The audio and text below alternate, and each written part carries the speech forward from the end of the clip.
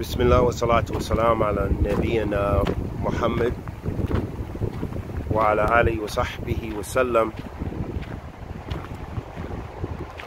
أما بعد أحبتي في الله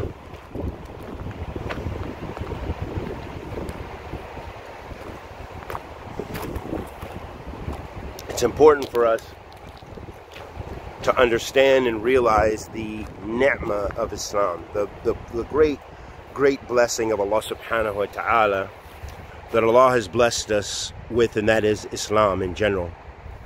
And when we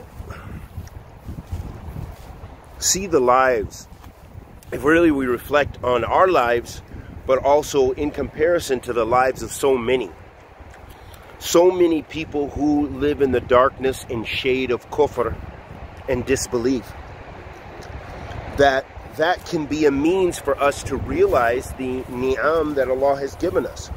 Allah has favored us with so much. Because when you see how some people live and the way they think, their whole thought process is is is dark.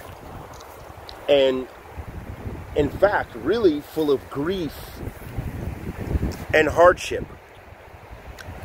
That the Muslim, if he or she takes a minute to really reflect on their lives, then they will see how in fact Allah subhanahu wa ta'ala have saved them from so much. Because if you have the darkness of, of kufr, on top of that, on top of that kufr, a spiritual void. So I'm going to make a distinguish that we have to distinguish these things and that I'm not just talking about kufr because people receive spiritual strength from different sources. Although it is not like iman. It doesn't enter them in the fold of Islam. But however, this can help people when they have a belief system. When they believe in at least the rububiyyah of Allah subhanahu wa ta'ala, this is a source of strength for them. But the one who doesn't really believe in Allah at all and doesn't have any type of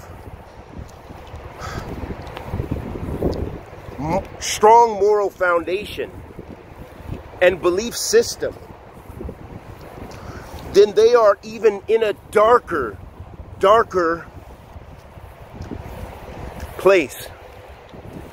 Because the trials and tribulations of life, we all have to deal with. We all struggle. But the one who has Iman to be able to deal with those trials and tribulations, that they have tools, they have a means, they have a way in order to navigate through the darkness, through the trials of life. And that true navigation, the best navigation, because as I said, people with other faiths, they have uh, tools of navigation at least, even if it is not the navigation that's going to get you to paradise. But it's navigation that can help them in life, obviously, to give them a sort of strength, give them a motivation to live, a motivation to strive. But when you don't have any of that, it's just from darkness to darkness. And if you see how some of the people live who are just in pure darkness with no form of guidance, no form of direction, no iman, then you see that they don't have any real tools to navigate them through this dunya, through the trials and tribulations, so that they will look for dark solutions. And I'm thinking about, in, in practical sense, women who are just, they only found, find their value through their, akramakum Allah, through their beauty or, or what have you, or in their relationship on how they entice men or men who only find their value through uh, wealth, how much they possess. And if they don't possess much, they feel no value. And they only see life in those terms. But the mu'min and the mu'mina, they understand that there's so much more to this life than that. And they understand that they have to prioritize their iman, prioritize the halal, be patient in uh, uh on uh, with with ta'atillah, being patient in obedience to Allah subhanahu wa ta'ala. And being patient being patient with the ma'siyatillah meaning that they are patient by not committing by avoiding the prohibitions of Allah subhanahu wa ta'ala. And being patient with the qadarillah with the decree of Allah subhanahu wa ta'ala those various levels of marataba sabr those various levels or there's various ways of patience Ibn al-Qayyim details this extensively. And what recently came into mind a, a, a, brother, a beloved brother, may Allah subhanahu wa ta'ala have mercy upon him, our brother Amin Abdul Latif, or Abdul Latif Amin, one of my colleagues, my former colleagues, I just found out he died, Allah yarhamhu, and, and, and, and, and bless him with Jannatul I mean, from the COVID 19 that he was a casualty of it. And this brought me great sadness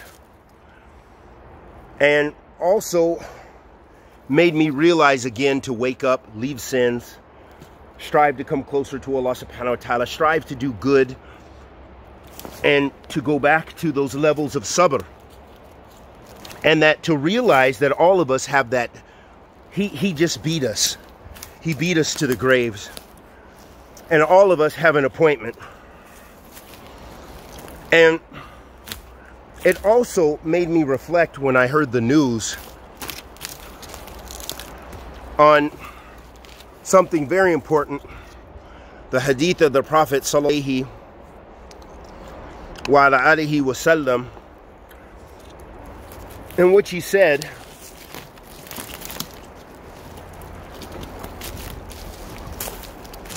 إذا مات المرء انقطع انقطع عمله إلا من ثلاث that when a person dies that their their deeds cease except three the deeds cease except three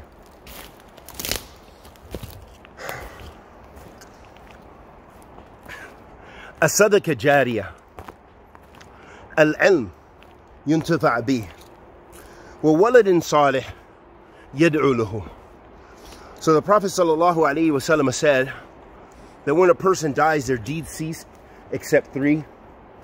He said,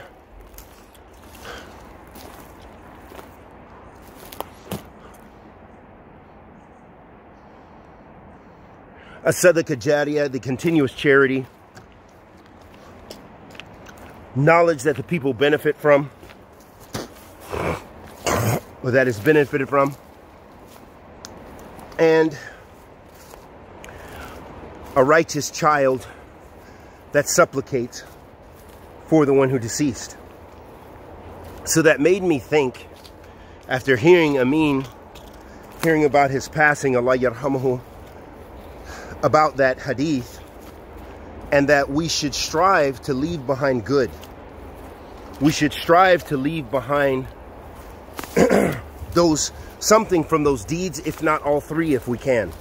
So those people who Allah subhanahu wa ta'ala has favored to go seek knowledge, or those people who Allah ta'ala has favored with wealth, should spend in the cause of Allah subhanahu wa ta'ala and leave something for their akhirah by doing the sadaqah jariyah, the continuous charity by building wells, by building masajid, by building learning centers to, to, to, to, to do talab al-ilm, to, by building ben, uh, buildings that the people will benefit from after they have gone. You know, things that will be a continuous charity and a continuous, continual source of good for the people.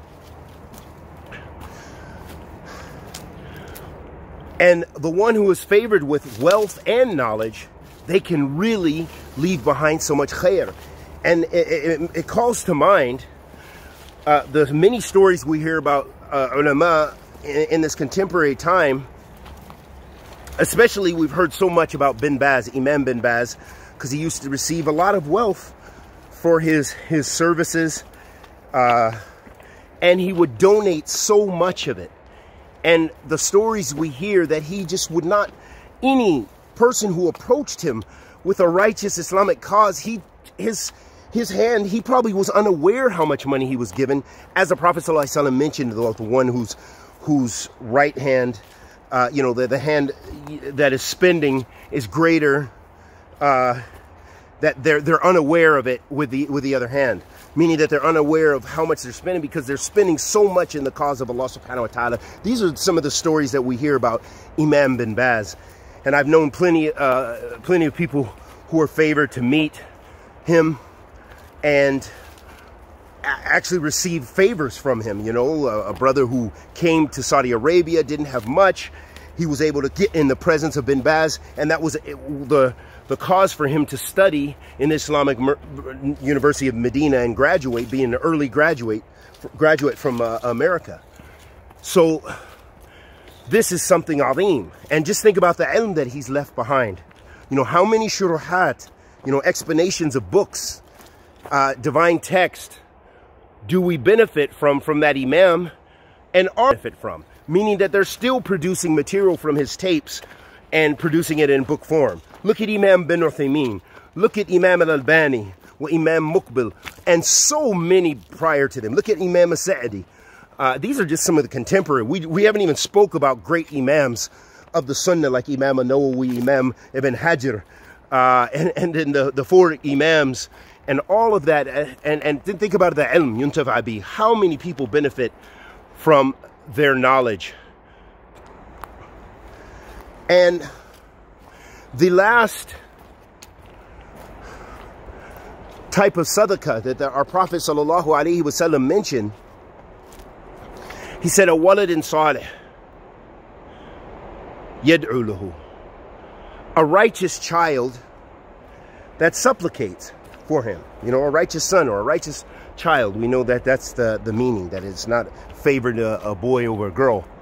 But the the point is, is to have, is that your children love you. You want to be loved by your children.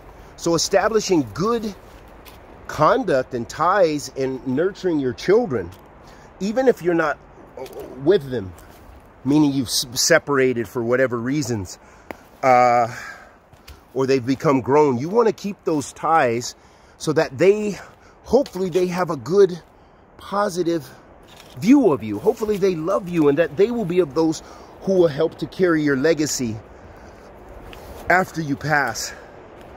Because that's an appointment all of us will have. We ask Allah Azza wa Jal, the Almighty, to accept our good and forgive our evil. Protect us from the evil of ourselves. And bless us to die in a state of Islam and a state of Iman, strong Iman.